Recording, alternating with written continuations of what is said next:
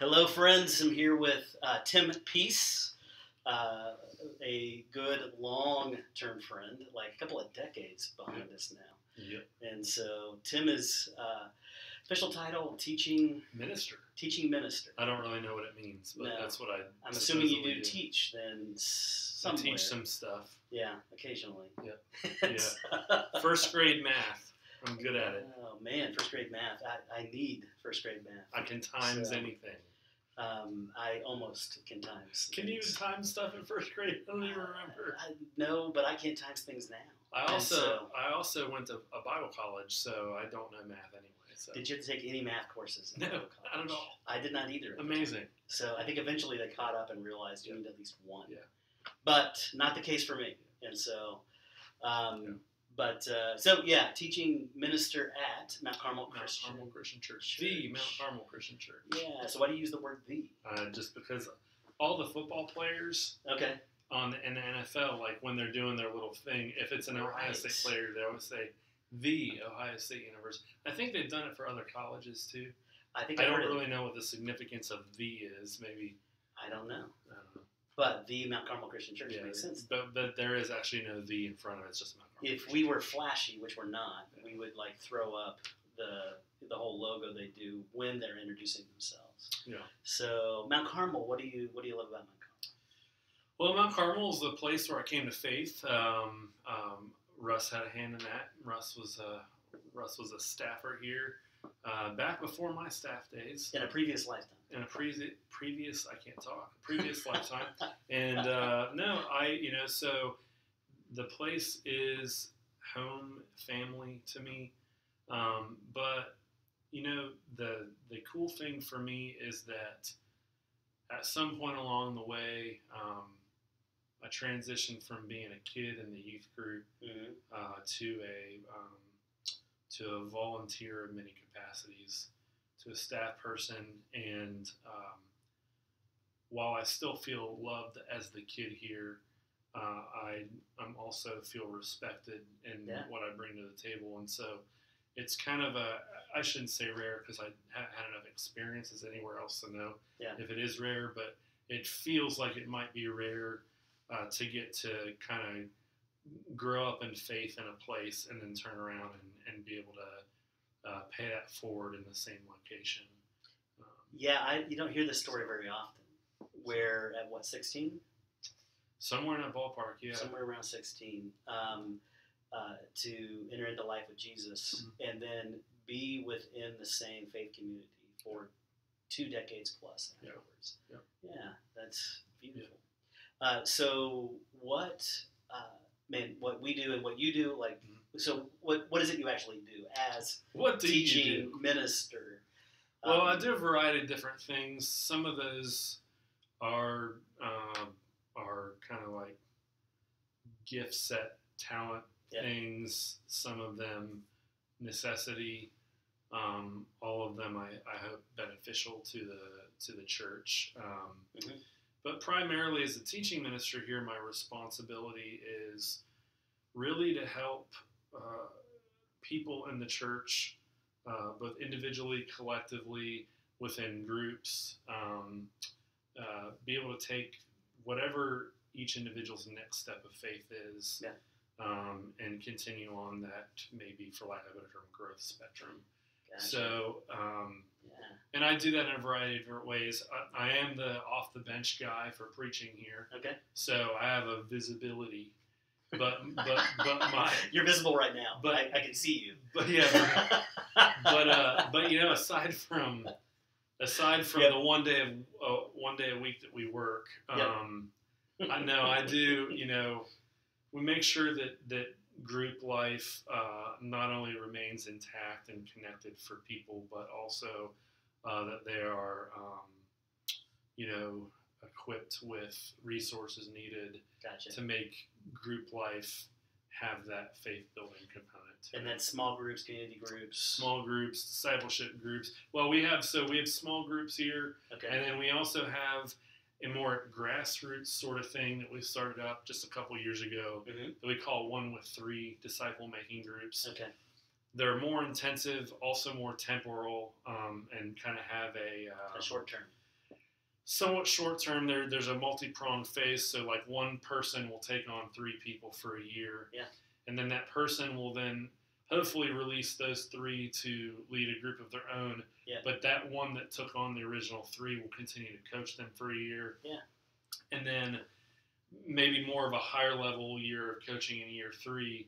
This doesn't preclude, if I've used that term correctly here, the the original lead from taking on a new group. Yep. But our, our whole idea is that the the mission of making disciples is first and foremost.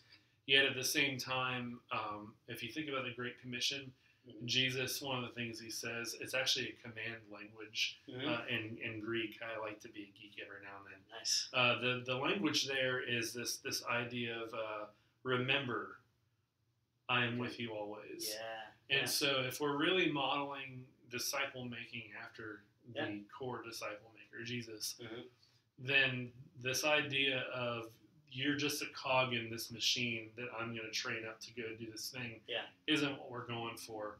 Yeah. We're, we're here to make disciples that make disciples. right. And so we do feel like um, the the you, we know we know we've got a real win when someone's turning around and repeating the process, Yeah. but we also stay on to be with them to be a guide Yeah. in their lives rather than just saying, "Well, well, thanks for playing. See you. Have fun doing it yourself." yeah. So that's kind of Turns out I don't think we've created a machine that can that can create a relationship, right? No, or no, no. cultivate a relationship, right? So that mechanistic Right. piece. Yeah. You know what has stuck with me recently about that same passage Mhm. is uh, go and make disciples, right? Mhm. Uh, baptizing them, name the Father, Son, and Holy Spirit, then teaching them to obey, mm, right? Teaching them to put into practice. yeah, uh, the the light bulb moment and sort of conviction moment for me was I've spent a lot of time trying to uh, uh, help people, inspire people to follow Mhm. Jesus. Yeah. And then even once they're following Jesus, I haven't spent time helping them to actually learn the skills. Yeah.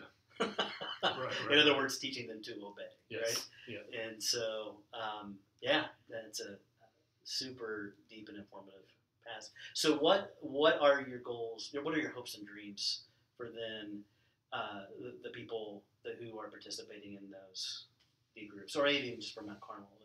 Yeah, I mean, I think the hard part about it is, is it's it's easy as a as a as a church that's considered a large church. Yep. He's the the term machine, and we know things become uh, they become a grinder. Yeah. And and so it, it's sometimes hard to detach from that or get outside of that uh, and to, ha- to look at things with fresh eyes. So you kind of you kind of formulate these goals in your mind of, well, if you know we start this out with this number of people and then it grows in this, and it's easy to turn a process Jesus calls us to be a part of uh, into a uh, really honestly into a holy pyramid scheme Okay. and uh, yeah.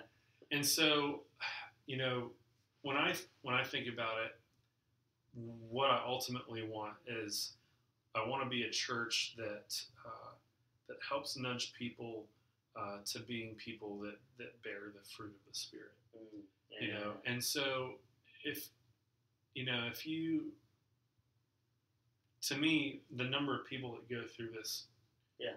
shouldn't shouldn't be your primary indicator as to whether or not you're successful So your metric isn't yeah how many right people. now i do now i do think that the the how many comes into play because at, mm-hmm. at some level you know It's good to know, right?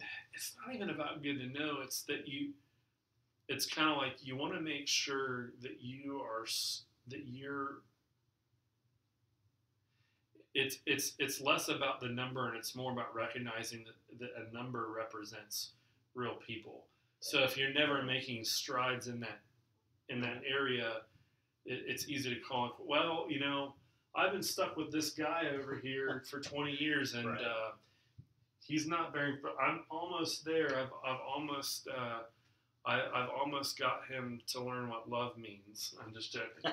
So, like, right. you know, at some level, you know, now Jesus had like this immediate thing he had to do something about a cross or whatever, but uh, without us getting into like f- fake numbers and playing guessing games at how long this was in his earthly ministry and blah blah blah. Yeah.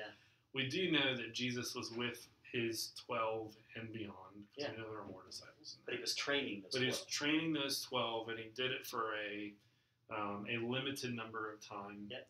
And he commissioned them to go do this thing Mhm, that he did in them first mhm. and we know that they did that uh, we know that even even a guy that wasn't in the 12 a guy that run ran into jesus on the road to damascus Yeah, paul yeah. paul has disciples you can read the book of the acts where he Yeah. has people that follow paul Right. like what? He's not. They're not following Jesus. They're following Paul. Yeah, they're Right. following Paul. I don't know why they would want to, but they did. Right. And so, the point being is that the people Jesus commissioned to go do this work Yeah. did it. We we we have evidence of uh, people being affected by those people who then went on and affected other people. And Yeah. so, on from that standpoint, numbers of people. I don't like even saying numbers. I, I just feel filthy. It's Yeah, like numbers matter. Yeah. There's a number with no name to me. No, numbers of people matter because Yeah. people matter. Yep. But if we're just churning out numbers of people that go through a process or a program Right. that then can replicate the process or program, but there's no bearing of fruit, there's no growth, um, there's no Christ likeness. The Right. kingdom of heaven isn't coming down Right. Into the world, then then we're just replicating numbers of people, and that's not. Yeah. So it's a both and sort of thing. My Yeah. buddy Arlen around here, Yeah. he loves saying, you know, we're both and people. Yeah. Yeah. Um, Yeah. It really is a both and thing. I, I think when we pit those two as like uh, opposing forces, I think we're missing the mark a little bit. And well, So. it's uh, not surprising to me that following Jesus Mhm. works anywhere and everywhere. Right. Whether it's organized or Yep. uh, not quite as organized Right. or uh, fluid, yes. like.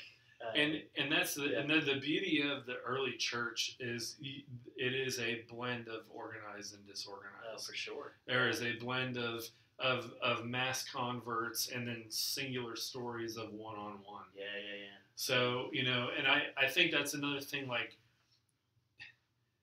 that if if the work is is hidden aims that Scripture te- teaches us were the aims of Jesus and her, his earliest followers, then we're winning. Yeah. And it, it doesn't matter if if you're you're winning with with you discipling one guy, Yeah. or you happen to be you know Billy Graham if Billy Graham did good stuff. Yeah, you know, yeah. that each person's doing what they're what they're doing, Right. and I don't mean that to sound frivolous or or that um, you know that none of that stuff matters, but it is it's all good, right? it's, it's all good. So uh, there was that thing that you said Mhm. about out of the hopes and dreams is just, uh, and I'm going to use some of my own language and what I heard um, of kind of flooding, flooding uh, your community here with people who are uh, for whom the fruit of the spirit are pouring out, right? Who are just more loving, more what peaceful. Yeah.